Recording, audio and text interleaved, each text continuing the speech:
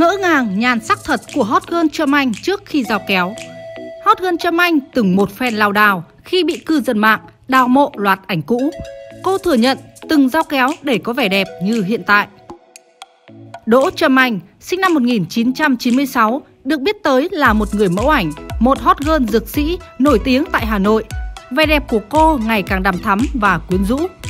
Tuy sở hữu vẻ ngoài xinh đẹp, nhưng hot girl Trâm Anh cũng có đời tư gây ồn ào không kém. Từ lùm xùm tình cảm với hot streamer Piu Piu cho tới bị tố giả mạo, phát ngôn gây sốc.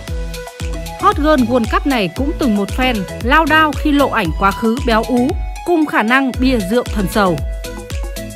Trước sức ép từ dư luận về nghi vấn từng thẩm mỹ để có khuôn mặt như hiện tại, trong một lần livestream, Hot Girl World Cup Trâm Anh không ngại khẳng định bản thân đã động chạm do kéo.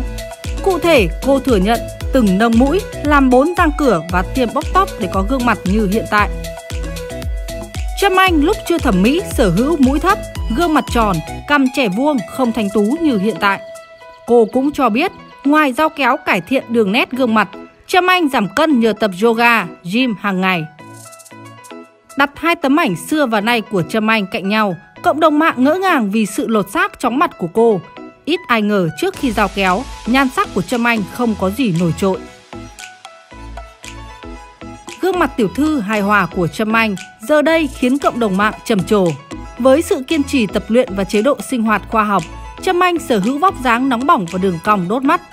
Cô thường xuyên chia sẻ những hình ảnh gợi cảm của bản thân lên mạng xã hội.